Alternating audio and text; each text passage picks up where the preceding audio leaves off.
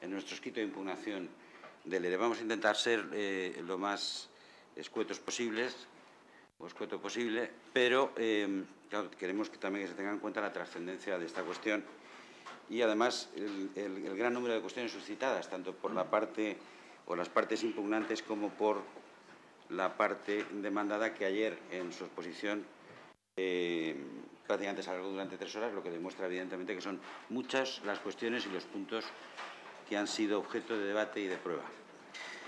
Entrando ya en las cuestiones que llevamos con carácter previo, señoría, decir que son diversas las ocasiones en las que la parte demandada, en concreto em, la Radio Televisión Valenciana SAU, Sociedad Anónima Unipersonal, eh, ha realizado en el ejercicio de derecho de defensa de su posición manifestaciones que realmente están eh, opuestas o alejadas de manera clarísima a la realidad. Y simplemente queremos comentar muy rápidamente diez puntos, que son los siguientes. Se decía que la representación de los trabajadores no manifestó durante el periodo de consultas que faltaran documentos ni información. Nos remitimos a lo que se ha expuesto ya por los compañeros anteriores, pero podemos decir que como mínimo tenemos eh, señalados por nuestra parte 30 eh, ocasiones distintas o 30 documentos distintos que se fueron solicitando, como se ha comentado también perfectamente por los compañeros que me han precedido, en reiteradas ocasiones y que en muchos casos no es que se entregaran tarde, que no se llegaron a entregar nunca. Vamos a poner además un ejemplo, porque esto ya trasciende de lo que fue el periodo de consultas. Es que a petición de esta parte se solicitó eh, de las empresas demandadas que aportaran, como lo han hecho en general a través de la documental, que han aportado un CD, que en relación a la baremación que se había realizado, que se aportara la baremación y las fichas y las puntuaciones de todos, los afectados y, no los, y los no afectados. Y solo se ha aportado de los no afectados. Y no se nos ha explicado hasta este momento, queremos recordar, por qué no se han aportado. Pero intuimos que la razón de que no se hayan aportado es también una parte de ese ejercicio de defensa, pero que va en contra, en principio, de la obligación que tienen de cumplimentar con la prueba que se les ha requerido por parte de la sala. Se decía también que ahora se pone como ejemplo mm, de, lo bien planteado desde su inicio que estaba el procedimiento de, expediente de extinción colectiva, que ahora con 676 trabajadores se está realizando el mismo trabajo que antes se realizaba con 1.700 y que no pasa nada y que el servicio se está impartiendo de la misma manera. Bueno, es que ahora no hay programas propios. Antes sí. Ahora hay informativos. Bueno, y hay informativos y además también informativos. Programas propios, creo que se comentó uno y, además que está hecha por, por, una productora externa, pero es que no hay prácticamente más programas. Lo que está haciendo es reproducir programas anteriores. Claro, de esa manera es completamente lógico que con 676 trabajadores se pueda, mal, mal que bien, eh, o peor que mejor, se pueda de alguna manera mantener el servicio. Tres, en 1990 había 680 trabajadores en la casa, o entre las tres empresas o entidades y hacían una programación. ¿Cómo es posible que se hiciera lo mismo con 1700? Se nos decía también. Pero es que no es así, no es así. Se pueden decir las cosas de muchas, de muchas formas, pero al final lo que ir es a la verdad de los hechos. Con 680 trabajadores en el año 90 existía un solo canal, Canal No, que finalizaba su emisión a las 2 de la mañana. En 2012 en el momento de leer hay cuatro canales de televisión emitiendo durante las 24 horas. Canal No, Punto 2, Canal 24 eh, No, de noticias, Canal Internacional y Multimedia. Más dos emisoras de radio, que tampoco en principio existían en su momento. Que tiene la misma plantilla que Telecinco y Antena 3. Pero claro, resulta que Telecinco y Antena 3, los informativos, por ejemplo, los hace una productora externa. Aquí no. Eh, y la programación prácticamente está externalizada en su totalidad. Aquí no. Entonces vamos a comparar magnitudes que sean comparables, no que lógicamente no sean comparables. Porque, insistimos, se pueden decir las cosas de muchas maneras, pero lo que hay que decir al final realmente hay que intentar acercarse a la verdad de las cosas. Que la televisión de Aragón funciona con 65 personas y se nos plantea como el paradigma de lo que tiene que ser una televisión autonómica. Claro, es que cuando se crea, cuando se concibe, ya no cuando se crea, la televisión de Aragón se plantea ya desde el punto de vista de la externalización de prácticamente todos sus servicios. es una manera completamente distinta de plantear un servicio público de comunicación. Aquí es al revés, se parte de una situación donde hay poca externalización. Luego ese ejemplo, desde luego, que tan reiteradamente fue planteado de contrario en el día de ayer, tenemos que decir que no nos vale. Que el Comité de Empresa reconoce el sobredimensionamiento cuando presenta la última oferta. Aquí, ayer, lo único que se decía constantemente es que el Comité había reconocido, que en las actas costaba el reconocimiento, poco más que no sabíamos lo que hacíamos aquí, porque parece ser que siempre lo habíamos reconocido todo. Pues se dice que reconoce el sobredimensionamiento cuando presenta la última oferta de plantilla de salvar, digamos así, o digámoslo así, a 1.135 trabajadores. Eso no es ningún reconocimiento. Eso es un intento, digamos, de llegar a un acuerdo. Y es, lógicamente, aceptar la posibilidad de perder algo para no perderlo todo o no perderlo prácticamente todo. Entonces, ¿dónde está el reconocimiento? Bajo ningún concepto. Otra cosa es que si quisiera llegar a un acuerdo que definitivamente y por culpa, desde nuestro punto de vista, de la actitud de la empresa durante el ERE no se pudo alcanzar. Que los sindicatos llegaron a pedir la externalización de la documentación. Tampoco es cierto. Lo que se pidió, dada su pertenencia al ente, es que se pasara a depender directamente este servicio del Instituto Valenciano Audiovisual, de la Consejería de Cultura. No es ni mucho menos lo que se espetó de contrario en el día de ayer. Que presentó una lista de inscripción, estamos terminando sobre este punto, sobre estos puntos, una lista de inscripción nominal de los trabajadores según los criterios de, de PVC, con lo que estaba claro el primer criterio de inscripción, pero realmente esto no es así. Esto queda invalidado por la decisión adoptada por la empresa, desde nuestro punto de vista, de manera completamente incorrecta, de que la, baremación se haga a los distintos trabajadores dentro de la adscripción generalizada a distintos grupos. ¿Por qué? Porque los cámaras con los cámaras, los, redactores con los redactores, estamos hablando de, de, una baremación personal, personal de cada trabajador. Nos quedan dos solo. Artículo 91 del convenio colectivo, que no recibe autorización de la Consejería de Hacienda. Ya lo ha comentado la compañera y no vamos a entrar en ese, dato. Y el informe de los servicios jurídicos, para terminar sobre este aspecto, sobre el grado de ejecución del ERE, solo detecta siete errores de trabajadores eh, que la Comisión para Madera había afectado y que la Dirección General anterior había salvado. Y que doña Rosa Vidal los, definitivamente modificó esta decisión y los eh, afectó y extinguió sus contratos. Pero es que no es así exactamente, no son solo siete, eso lo está diciendo la otra parte. Ya ha quedado acreditado con la prueba practicada, es que son, por supuesto, eh, más de siete. Es que están los siete casos dentro de eh, Radio eh, No que se deciden mantener, es decir, que se desafectan y luego no se vuelven a afectar. No son siete, son más. Y, por supuesto, aparte los demás trabajadores, por razones sociales, que, por supuesto, siempre vamos a, a, aceptar que existan esas relaciones sociales, pero que, como perfectamente han comentado los compañeros que me han precedido la palabra, cuando se hace ya se hace tarde, porque hay otros trabajadores que también tendrían derecho a que se hubiese hecho el mismo planteamiento con ellos. Tenemos, señoría, 30 documentos o momentos en los que se pidieron documentos que la empresa no eh, aportó o eh, aportó tarde. No vamos a entrar en ello, simplemente nos vamos a a, mencionar, y no vamos a decir si se aportó o no se aportó, pero además queda patente en la documentación del periodo de consultas. Y además la, compañera de comisiones obreras incluso ha detallado eh, muchos de ellos señalando eh, en cada caso la documentación donde quedaba reflejada esta situación. Relación de trabajadores haciendo costar su categoría profesional, descripción de puestos de trabajo, disfunciones existentes entre la descripción de puestos de trabajo y tareas realmente realizadas, catalogación de los puestos, definición de factores como el conocimiento, experiencia, responsabilidad, dedicación, complejidad de tareas eh, que permitan a la empresa la evaluación en cada momento del puesto de trabajo, nivel de formación específica que la empresa ha ofrecido, de acuerdo con el cumplimiento del convenio, que no ha cumplido en este aspecto nunca, coste de externalización de programas. Se ha comentado ya por los compañeros que me han precedido.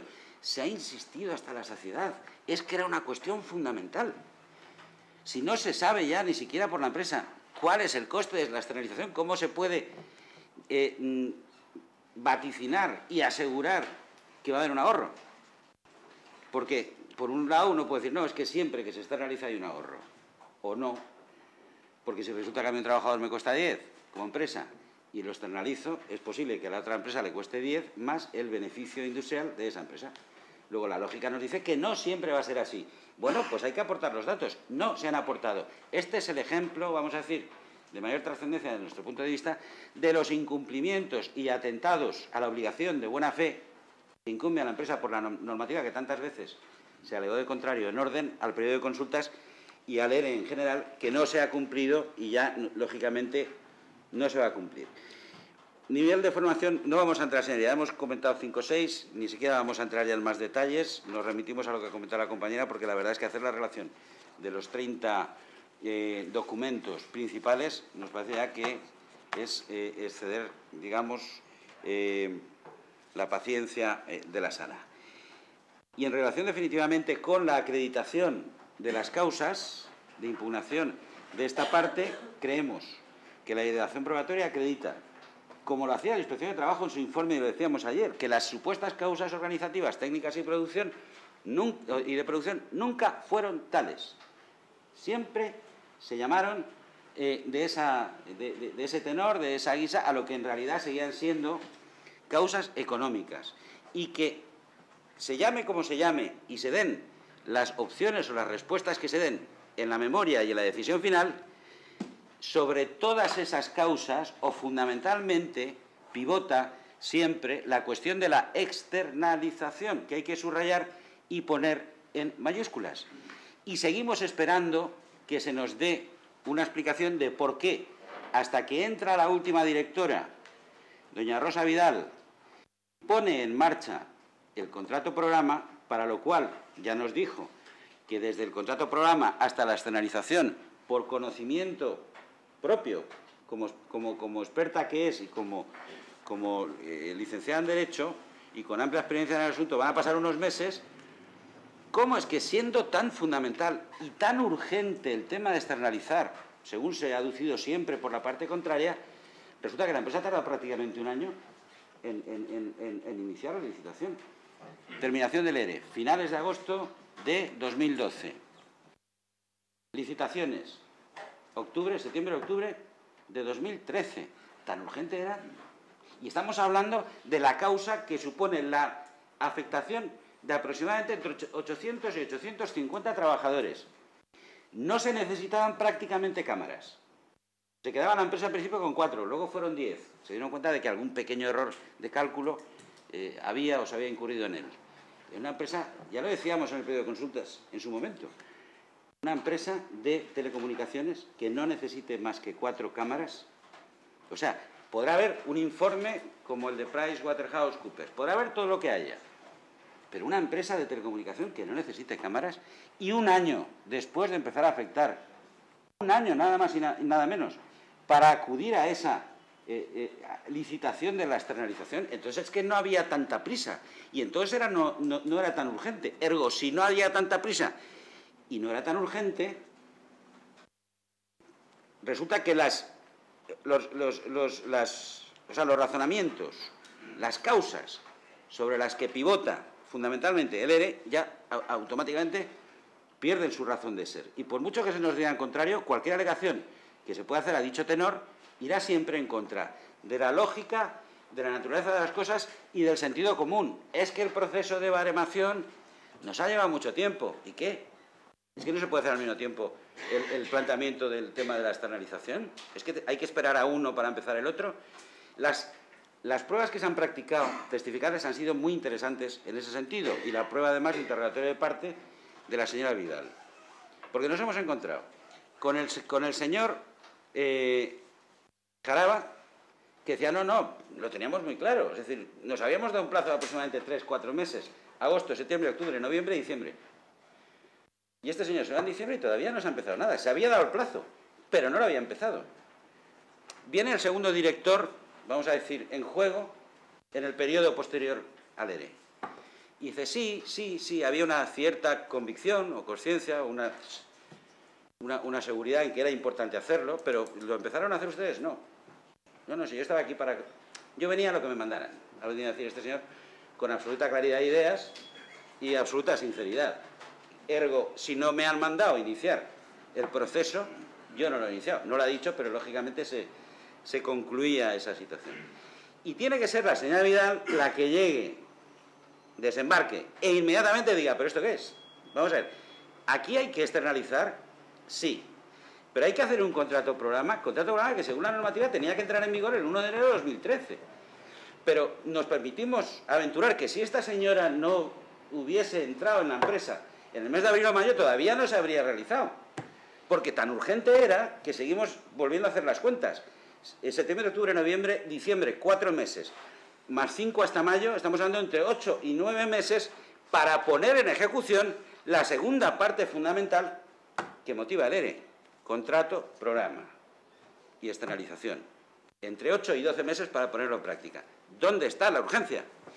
¿Y dónde está la razón, por lo tanto, de la afectación de aproximadamente 850 trabajadores, tres cuartas partes de los inicialmente afectados? Ergo, las causas organizativas, productivas y de producción, y, técnicas, perdón, que no son tales, nos remitimos al informe de inspección de trabajo, no solo no son tales, es que pierden toda su posible justificación cuando vemos lo que se planteó, la justificación que se quiso dar y lo que a lo largo de tantos meses se ha hecho. Por supuesto que sabemos lo que se va a decir porque sabemos lo que se dijo. Es decir, y además tenemos que decir con todos los respetos hacia los compañeros de, la parte empresarial que sinceramente estamos un poco agotados de escuchar siempre lo mismo. Es que durante, durante 10 sesiones que se diga, no, es que la empresa está en situación en causa de, disolución, y otra vez, es causa de disolución, y otra vez, todos los días, dos, tres veces. Aquí durante el informe se reiteró hasta la saciedad. Pero si es que desde el año 90 la empresa, según las indicaturas de cuentas, está en causa de, disolución, ¿qué pasa? Que no tenía virtualidad, es decir, durante veintipico años no tenía ninguna virtualidad, pero hoy sí, o sea, de repente, en agosto de 2013, tiene toda la del mundo, hay que ponerse en marcha rápidamente. En el mes de agosto no se puede esperar ni incluso a septiembre. Pero, pero luego, ¿qué pasa durante 8, 9, 10, 11, 12 meses? Nada, absolutamente nada. Contrato programa. Hasta que no tengamos un contrato programa no podemos, no podemos hacer nada. El contrato programa nos está limitando la posibilidad que tenemos de eh, contar con un presupuesto y con una financiación. Seamos sinceros, hoy se le llama contrato programa, otras veces en, periodos anteriores no se llamaba, digamos, con ese eufemismo técnico, se decía presupuestos o eh, la parte que la Administración Pública eh, pone en lo que son los gastos de una entidad tutelada por ella. Hoy se llama contrato programa y la verdad que queda muy bien, es un término muy, muy elegante, muy bonito. Y además queda así como muy inglés, si se me permite, y, y muy mercantilista, como le gusta mucho a la parte contraria. Pero volvemos a lo mismo. Tenemos un servicio público, vale.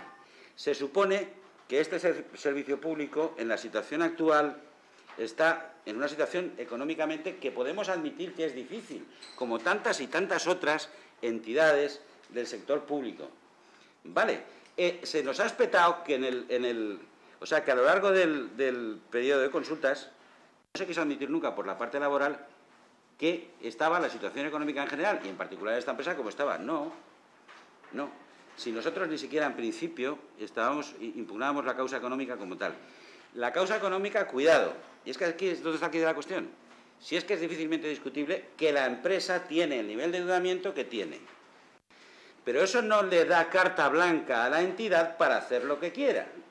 Es decir, lo que tendrá que hacer la entidad es decir, uno, primero, estudio previo, vamos a hacerlo de verdad, sin ambajes, con, con detalle, para lo cual vamos a tener además que implicar al propio personal técnico de la propia entidad, porque es la que más sabe durante todos estos años de la cuestión.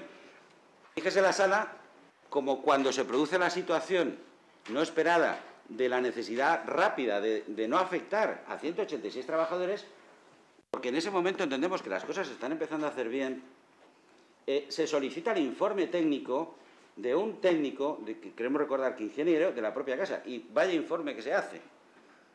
Un informe concienzudo. Ese no es el informe con datos, departamentos, eh, eh, eh, número exacto de, o sea, necesidades. Ese no es el informe de Price Waterhouse, con todos los respetos, por supuesto, hacia esa entidad. Se puede, se puede cotejar el uno con el otro y no vamos a entrar más en esa cuestión. Pero decíamos, se puede entender, evidentemente, que la situación de la empresa está mal y que podría incluso justificar un ERE con una mínima o determinada afectación hasta un determinado límite. Pero si es que la parte laboral llegó a hacer la oferta de admitir una cierta afectación y no se aceptó bajo ningún concepto, incluso se puso todo tipo de trabas en el último momento para que se uniera a las actuaciones. Pero lo que se está discutiendo no es, por lo tanto, esa situación previa. Lo que se está discutiendo es que al, socaire o con la excusa de esa situación se han intentado lavar los fondos de la entidad. Es decir, ahora que, se ha modificado la ley y ahora que estos, estos son eh, eh, habas contadas, uno y uno son dos, pues entonces ahora simplemente vamos a hacer un informe, tal, tal, tal, vale, ya está. 1.200 afectados. Porque además somos magnánimos como empresa. Eran 400, pero en el último momento vamos a permitir que sean 500. ¿Por qué no 600? Diríamos nosotros. Porque la empresa llega a ofrecer 600. Pero luego, como la representación laboral no fue buena, entre comillas, por supuesto, y con todos los respetos, pues al final la que fue buena fue la empresa. Puede que se, pueda, puedo llegar a 600 no afectados. Pero bueno, como no habéis eh, llegado a un acuerdo, pues entonces lo que voy a hacer es que en lugar de 400, 500. Eso que lo haga una empresa privada, pues bien, se puede entender, son las reglas del juego, llegamos a un acuerdo, no. Una empresa pública, si una empresa pública entiende que puede no afectar a 600, no debe afectar nunca a más de esa cantidad. Nos remitimos a las, sentencias de esta propia sala, en concreto a la sentencia de, de Baersa, porque aquí los, principios, por mucho que se quiera de contrario, que sean otros, no son otros. O sea, quiero decir, los principios son los de una entidad eh, que, aunque sea mercantil, en el fondo tiene una relación de, vamos a decir, de filiación con una entidad pública de la que depende y que es la que la ha creado. Y vamos a poner el ejemplo. Además, una cosa curiosísima. Aquí ha habido una discusión constante desde el principio sobre el famoso criterio de afectación de la, de, la inscripción por oposición. Y en el último momento la empresa dice que llegan a la convicción de que no, es que respecto del ente sí es verdad. Vale, primer motivo para eh, afectar o no afectar. Y respecto de las otras dos entidades, no, porque como son empresariales, vale. Que por cierto siempre se está jugando con el tema según interese que el, viento llegue de un lado o llegue de otro. Es decir, aquí estamos hablando de empresas mercantiles, pero cuando, cuando interesa estamos aplicando la normativa administrativa al 100%. No, no, es que la ley de presupuestos, ¿en qué quedamos? Es decir, tendríamos que aceptar varias posibilidades, pero aquí la empresa cuando le interesa una, sí, y cuando no le interesa eh, lo, que está haciendo es utilizar la otra. Y decíamos, curioso, curioso, porque cuando se acaba el ERE, a los pocos meses, desaparece el ente. Y los trabajadores del ente que se han quedado, eh, que no han sido afectados porque se ha aplicado ese criterio, por ejemplo, ese primer criterio, ¡pum! pasan de rondón rápidamente a, la entidad que es fruto de la unión, de la fusión de las otras dos entidades. Ahora solo tenemos RTVV. Eh, sociedad Anónima o Sociedad Anónima Personal, como se prefiera. Eh, pero entonces, entonces, ¿qué sentido tiene? Es decir, pero si sabía ya la empresa que en pocos meses el ente se iba a someter a liquidación y su personal pasaría a las otras, ¿por qué no aplicar el mismo criterio a, las tres?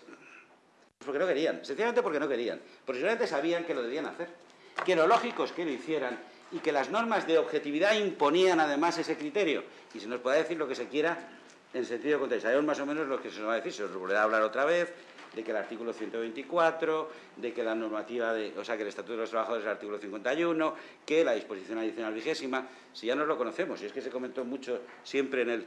Pero que en el fondo lo que late es que estamos hablando de una entidad mm, dentro del sector público y aquí se está obviando precisamente lo que es la exigencia de rigor, la exigencia de objetividad. Porque cuando un señor se le dice, lo siento mucho, usted lleva 5, 10, 15, 20 años trabajando para esta entidad, mala suerte, si hubiera sido funcionario hoy por hoy no, lo no, tendría ningún problema, mañana veremos, porque al paso que va esto pueden cambiar muchas las cosas en muchos sentidos, evidentemente. Eh, pero lo siento, pero se tiene que ir. Lo mínimo que puede exigir o debe exigir es que se vaya porque se le ha aplicado unos criterios que son objetivos. Y eso es lo que no ha ocurrido nunca aquí. Pero es que una cosa, o mejor dicho, la realidad al final ha superado la ficción. Y decíamos ayer, al final, los, primeros, eh, los últimos son los primeros. Eh, la dilación que se ha producido por, distintos planteamientos eh, doctrinales en los que han incurrido distintas partes o, la Fiscalía sobre la competencia, al final resulta que nos ha permitido, afortunadamente, ver la proyección que a lo largo de nada más y nada menos durante un año ha tenido ese esa memoria del ERE y esa decisión final. Y resulta que la realidad, decíamos, supera la ficción. Ya lo decíamos, ¿qué prisa había? Ya no hay ninguna. ¿Qué dilación ha habido? No es tan urgente. Pero es que además han incumplido. Los propios criterios han incumplido. Ya se ha dicho por las partes contrarias. Es que se han incumplido, a veces con buena voluntad. Otras no, pero se han incumplido. Si la norma básica de un ERE es la decisión final a falta de acuerdo, no hay ninguna razón, ni objetiva ni subjetiva, que legalmente, y aquí hacemos lo mismo que hizo la representación empresarial de ayer, retamos a la representación contraria para que nos diga en vía de informe qué norma permite hacer esa modificación, que nos lo diga, porque aprenderemos mucho seguro con ese tema. Creemos que no hay ninguna. El 51, el 124, el reglamento, en sus distintas modificaciones, muchísimas a lo largo de dos años. Eh, lo dice claramente, la memoria es la memoria y que se puede modificar hasta la decisión final. Pero una vez hay una decisión final, señor, es inmodificable. Pero es que aparte aquí no se ha dado ninguna explicación. O sea, ha tenido que llegar a este procedimiento y solicitar todas las partes eh, demandantes la, la prueba oportuna para que estas cosas salgan a relucir. Y afortunadamente tenemos que decir que hay nuevos aires en la casa, desde nuestro punto de vista, y somos partes contrarias, pero tenemos que decir, y que se ha notado la diferencia de criterio con la llegada de la última eh, dirección general, cosa que antes no ocurría. Entendemos, señoría, que la prueba, por lo tanto, viene a adverar los motivos de impugnación que habíamos comentado eh, en, los dos primeros casos. La nulidad y, no ser ajustada a derecho por las propias argumentaciones de nuestro escrito de demanda. En cuanto a, en cuanto a la no notificación eh, de los trabajadores respecto de su inclusión en, los listados afectados, no insistiremos porque creemos que la prueba también la ha acreditado. Es decir, se hizo cuando se hizo. Y tuvo que ser además incluso la inspección en varias ocasiones, no solo en la reunión inmediatamente siguiente al ERE, donde llamó la atención de, de manera muy llamativa sobre esa cuestión, ha tenido que haber varias reuniones, varias eh, actas posteriores o varios requerimientos que además cuestan porque lo pidió la sala, creemos que incluso de oficio, las novedades que se habían producido a lo largo de este año en orden a, la actuación de inspección. Y resulta que al final sí, al final se llega a, realizar esa, e, e, esa comunicación de la afectación. Y se nos pone un ejemplo. Es que el procedimiento era tan complicado. Tres personas, tres personas en una plantilla de 600 y pico para Baremar, en, la televisión y en el ente, tres personas para Baremar en eh, eh, la radio. ¿Y por qué cambiamos unos de otros? Si, unos ya tienen la experiencia durante unos meses, lo irán más rápido quizá. ¿Por qué no ponemos seis o diez o veinte? ¿Por qué no hacemos prevalecer por una vez en un ERE de una empresa pública el, el derecho de un trabajador afectado a lo que son propiamente y exclusivamente los intereses de la propia casa? porque no les corría prisa. Si es que no les corría prisa. Señorías, la prisa era a Vinitio, porque la, explicación o la causa real de esa prisa inicial, que luego dejó de serlo completamente, nos lo han dado las testificales que se han producido en, el día de hoy. Y se ha explicado muy bien además por los compañeros que han depuesto con anterioridad. Cuando se ha dicho, y en el día de ayer también, es decir, por el, director señor Jaraba, en fin, por los demás deponentes, que tenían en alguna medida o en la mayor de las medidas eh, responsabilidades en, la entidad, dice, no, no, sí, la decisión era compartida, pero en definitiva la decisión venía de arriba. Y la decisión de arriba era, ya con números, quiero tantos. O sea, primero te digo el número y luego arréglamelo. Tenemos ya un informe que habéis pedido. Ha sido curiosísimo, señoría, y creo que nadie le extrañará que digamos que estaba completamente de más. Con todos los respetos, la pericial que se ha practicado el día de hoy, ¿para qué? O sea, tenemos un informe, el de Price, que se supone, a tenor de lo que dice la empresa, que justifica perfectamente el ERE. Lo ha dicho siempre, lo ha repetido en el procedimiento eh, a lo largo del día de ayer y lo repetirá el día de hoy. Y cuatro meses después de la decisión final se hace un informe para cubrir la situación anterior. ¿Qué sentido tiene? O sea, intentar, intentar probar lo que se supone que está aprobado? Pues seguramente porque la propia entidad se dio cuenta de que no estaban tan claras las cosas y entendía que había que reforzar ese informe. Pero es que llega tarde, porque el informe se hace cuando han pasado, si no nos equivocamos, cuatro o cinco meses desde la decisión final. Y no insistimos, por lo tanto, más sobre esa, sobre esa cuestión, pero desde luego es enormemente eh, llamativo. Eh, sobre los, muy rápidamente, sobre los criterios en relación a, las, alegaciones de la de la prueba practicada, se pretende, en, lo que sería casi una excepción de, no eh, legitimación, la parte contraria, eh, que mm, mm, en este procedimiento eh, no tenemos, las partes demandantes, la posibilidad de impugnar las consecuencias del ERE en base a cuestiones que tengan que ver con los criterios.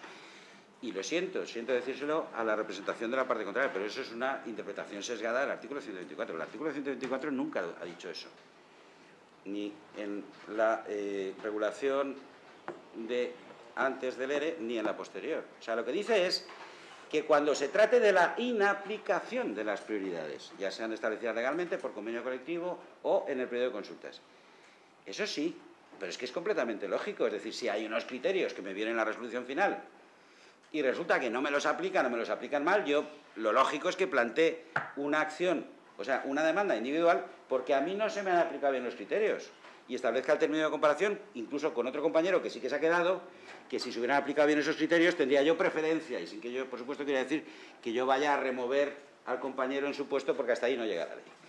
Pero no es eso lo que dice. Y lo que eh, entendemos es que lo que tiene que hacer es leérselo bien y además con un sentido crítico y, con lógica. Es decir, no, sí que se puede hablar de eh, los criterios, porque entre otras cosas, imaginémonos, imaginémonos, que se estableciera un criterio que fuera absolutamente ilegal por inconstitucional, que se dijera que las personas de determinada religión, pues que quedarían afectadas automáticamente, serían las primeras afectadas. Todos comprenderíamos que sería lógicamente atacable desde el punto de vista de la demanda colectiva o la demanda individual.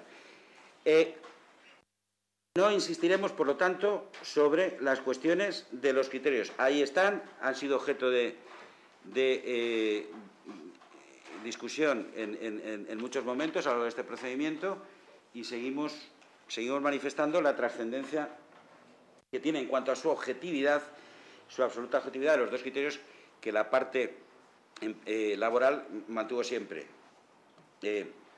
la incorporación por eh, oposición y la antigüedad. Y en esto un razonamiento, digamos, que, de alguna manera explica el otro. Es decir, que a una persona, a un trabajador que lleva X años, le tenga que decir, no, vamos a valorar su adecuación para el puesto, la titulación que usted tiene. Pero vamos a ver, si es que esta persona, uno, entró por oposición, dos, lleva no sé cuántos años de antigüedad, tres, está realizando ese puesto de trabajo durante muchos años, cuatro, no tiene ninguna sanción. Cinco, no se le ha despedido por causas objetivas por, inadecuación sobrevenida a la prestación eh, eh, de su categoría eh, laboral. Entonces, ¿y qué sentido tiene, por lo tanto, esto? No, bueno, no tendrá ningún sentido, pero es una decisión arbitraria de la empresa que lo puede hacer. Estamos en una entidad, insistimos, una entidad perteneciente al sector público, según la ley de contratos del sector público, que tantas veces se nos ha legado. Entonces, por supuesto que entendemos que esos criterios no se pueden plantear y tampoco, desde luego, se pueden plantear eh, por encima de los criterios que hemos comentado. Eh, sobre el tema de los, de los 25... Eh, perdón, sobre el tema de los 20 días por año, y simplemente reiterar lo que ya se ha comentado y lo que viene en el escrito de demanda de... bueno, que estamos hablando del supuesto carácter retroactivo de una norma que ni siquiera establece ese carácter retroactivo. O sea, dice que no podrán estar en contra, tal, pero no dice si, existían ya de manera precedente. Y seguramente no lo dice porque difícilmente se podría sostener. Es decir, estamos dentro del aspecto del derecho fundamental o del derecho a la negociación colectiva. Se habla incluso del derecho a la libertad sindical, pero dejémoslo por lo menos en lo que se haría referencia a la negociación colectiva. Las partes voluntariamente, libremente, sin ningún tipo de coacción, por supuesto, incluida la empresa. En su momento juzgaron oportuno establecer eso. Y eso ha venido rigiendo la actuación de la, entidad eh, eh, eh, desde el principio, en que se pactó. Y lo que no cabe ahora es decir, bueno, pues ahora vamos a aprovechar la circunstancia para desentendernos de lo que en su día pactamos. para terminar, señoría, reiteramos, eh, como se ha hecho ya en alguna ocasión, por la parte laboral, eh, la remisión que se hace a sentencias como las propias dictadas últimamente por esta sala, asuntos de, de Baersa, de la Agencia Valenciana de, Movilidad, y la sentencia de Telemadrid. Eh, porque nosotros decíamos, en principio asumimos y asumíamos, nosotros solos no, en general creemos que había una situación difícil económicamente. Pero, pero no se ha justificado la causa económica, no la situación económica, pero que la misma se haya articulado de manera que se pueda entender que efectivamente es una causa eficiente y suficientemente eficiente a los efectos de incardinarla como causa justificativa de un ERE y, sobre todo, de un ERE de la extensión y trascendencia de este. Y reiteramos lo de la cuestión del contrato programa y que no se puede plantear un ERE como este si se está pendiente de un contrato programa que es el que va a decir al final, uno, de cuánto dinero se va a disponer, dos, cuándo, cómo, etcétera. Es decir, es que estamos empezando la casa por la ventana y de ahí viene lo de la urgencia de la decisión, etcétera, etcétera. Y decíamos, sentencia de Telemadrid, si la, si la reducción presupuestaria es X, lo que no se podrá hacer es multiplicar por 3, 4, 5, 6 o hasta lo indecible la afectación de trabajadores, porque entonces es una excusa. Es una simple excusa. Si usted tiene una reducción de un 10%, afecte a un 10% como máximo. Y si el año que viene tiene un 20%, afecte un 20%. Pero eso de decir, voy al copo desde el principio, desde el primer día, no, ahora aprovecho y lo que hago es, lo que decíamos, limpiar fondos. Con esta, no sea que me cambie la ley luego, claro. Pero yo de entrada ya eh, afecto y, a los que afecto. Y encima soy magnánimo porque en el último momento soy, somos tan buenas personas que eh, libramos al final a 100. Y resulta que ni eso, señoría, porque resulta que al final se dan cuenta de que han hecho mal los números y tienen que desafectar a prisa y corriendo a prácticamente 200 personas.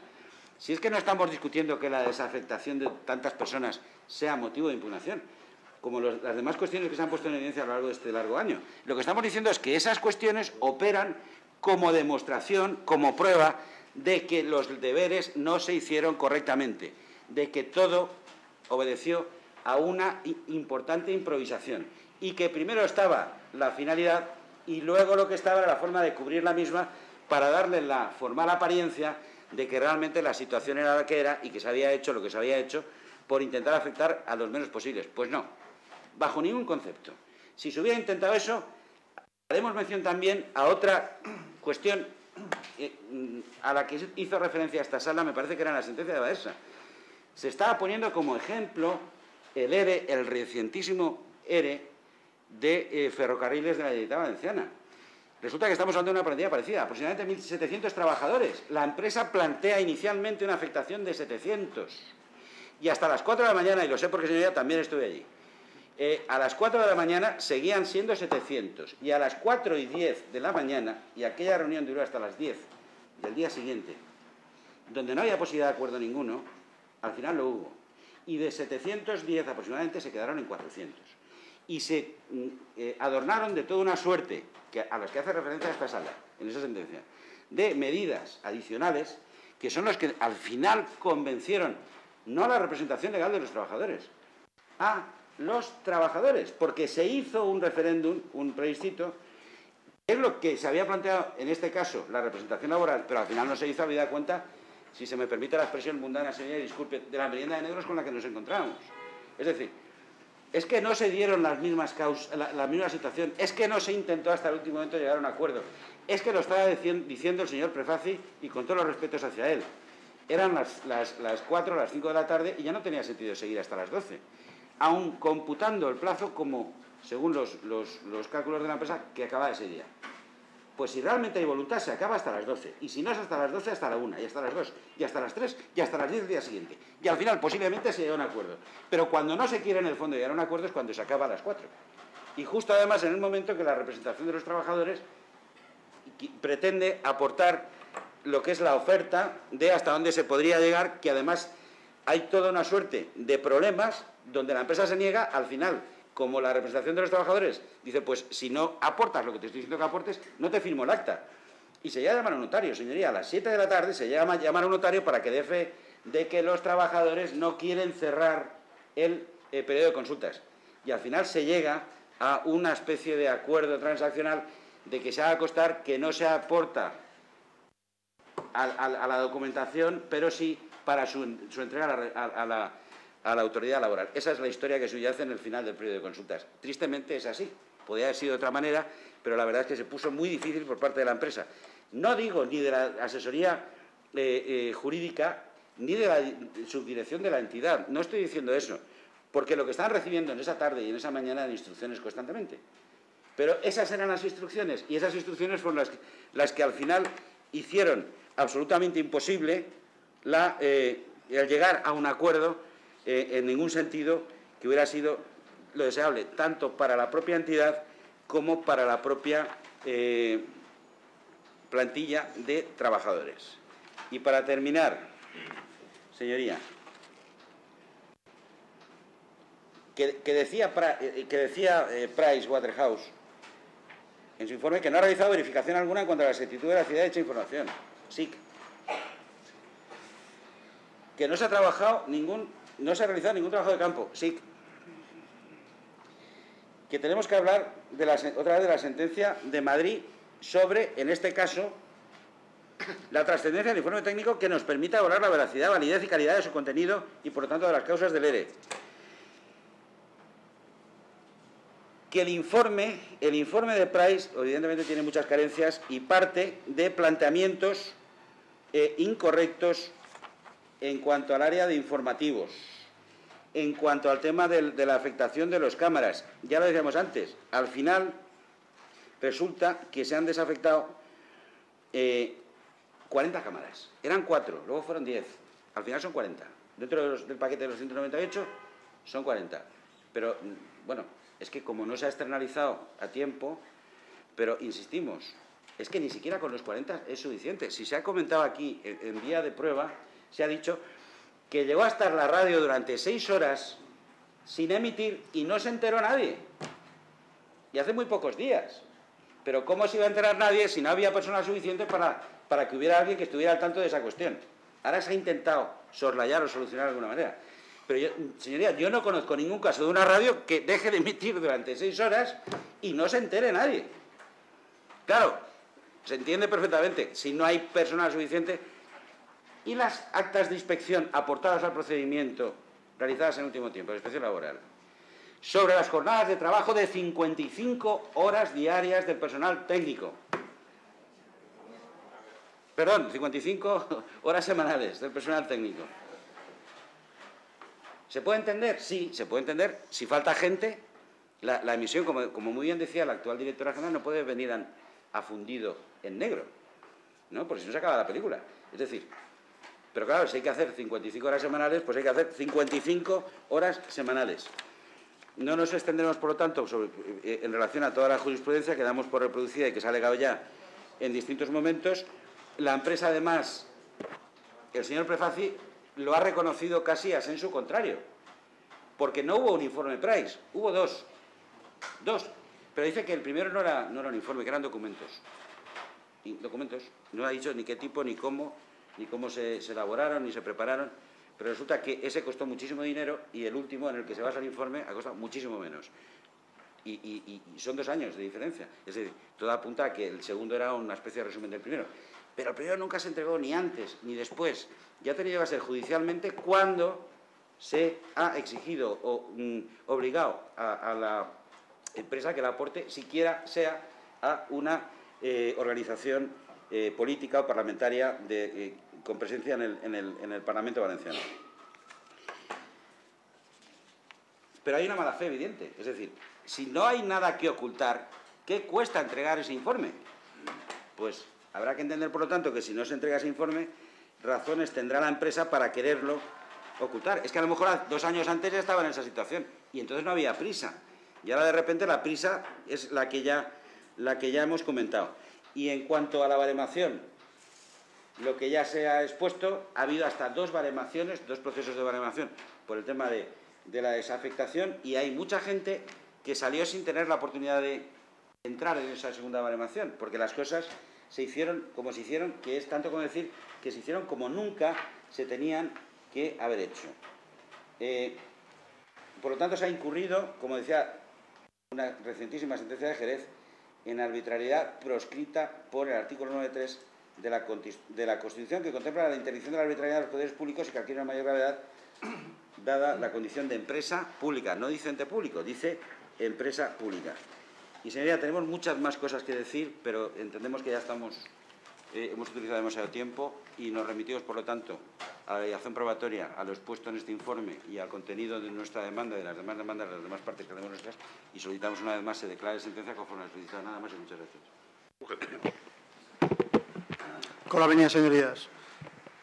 Eh, esta parte tiene que mostrar su, pleno acuerdo con las manifestaciones realizadas por el compañero que me ha precedido en la palabra, porque el procedimiento eh, en el que nos encontramos empieza en noviembre del 2010. Esto supone que en este momento